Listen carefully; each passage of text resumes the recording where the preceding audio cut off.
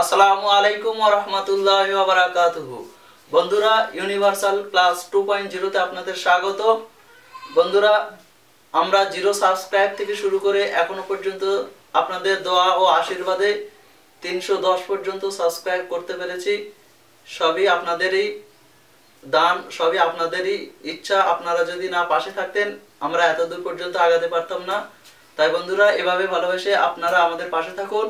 যাতে করে আমরা নতুন নতুন কিছু তথ্য আপনাদের কাছে- পৌঁছে দিতে পারি। আজকের মূল টপিক একটা বিষয় আপনাদের কাছে ছোট্ট করে বিষয় তুলে ধরবো। যে বিষয়টা হচ্ছে ইসলামের মূল ভিত্তি কিন্তু আমাদের মূল পাঁচটি। তার মধ্যে পাঁচটি হলো নামাজ, রোজা, হজ ও জাকাত এবং সর্বোচ্চ মূল বিষয় হলো ইমান আমাদের ইমান না থাকলে আমরা পরিপূর্ণ মুসলমান নয়। আর এই পাঁচটি বিষয় আমাদের প্রত্যেককেই মেনে চলতে হবে। এরপরে আসি, আমরা শুধু কি হজ, রোজা ইমান থাকলে কি আমরা মুসলমান? তা নয়। আল্লাহর দেওয়া বিধান যে নামাজ আছে, নামাজকে আমাদের পরিপূর্ণ কায়েম করতে হবে। এই নামাজের পূর্বে আমাদের আবারও কাজ আছে। সেই নামাজের পূর্বের মূল কাজ কি? যদি আমরা নাপাকি অবস্থায় থাকি, যতই উজু করে নামাজ পড়ি না কিন্তু কেননা আমাদের নামাজ হবে না। তাই আমরা আগে পবিত্রতাটা ভালোভাবে অর্জন করব।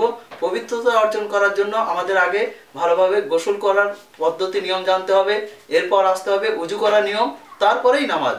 তা নাহলে এ দুটো ছেড়ে দিয়ে কিন্তু আপনার নামাজ, যতই আপনি কষ্ট করে রাতে তাহাজ্জুদ পড়েন না কেন, আপনাদের নামাজ হবে না। তাহলে প্রথমে আসি আমরা, প্রথম টপিক হচ্ছে আপনাদের গোসল। গোসল কীভাবে করতে হবে? গোসল আমাদের ফরজ, কটি সেটি আগে জানতে হবে। গোসলের ফরজ হলো তিনটি। প্রথমত আমাদেরকে কুল্লি করতে হবে গড়গড়াশয়ী তিনবার। তার সাথে নাকের নরম মাংস পর্যন্ত আমাদেরকে পানি পৌঁছাতে হবে। এবং দ্বিতীয়ত, তৃতীয়ত সর্বশেষ আমাদের ভালোভাবে সারা শরীরকে ধৌত করতে হবে। এই হলো আমাদের গোসলের খরচ তিনটি। যে তিনটি আদায় করলে আমাদের গোসল পূর্ণ- পরিপূর্ণ হবে, তারপরে আমরা আসব অজু। এবং অজু কমপ্লিট করার পরে আসব নামাজ। আজকে এই পর্যন্ত। আগামীতে আপনারা প্রশ্ন করবেন কমেন্টে এসে লাইক করবেন শেয়ার করবেন এবং কমেন্ট করবেন এবং পাশে থাকা বেল আইকন কি অল করে রাখবেন যাতে করে আপনাদের কাছে আমরা নতুন নতুন তথ্য পৌঁছে দিতে পারি। আর আপনারা কমেন্টে প্রশ্ন করবেন ইনশাল্লাহ আমরা আগামীতে এসে তার উত্তর আমরা দেবো।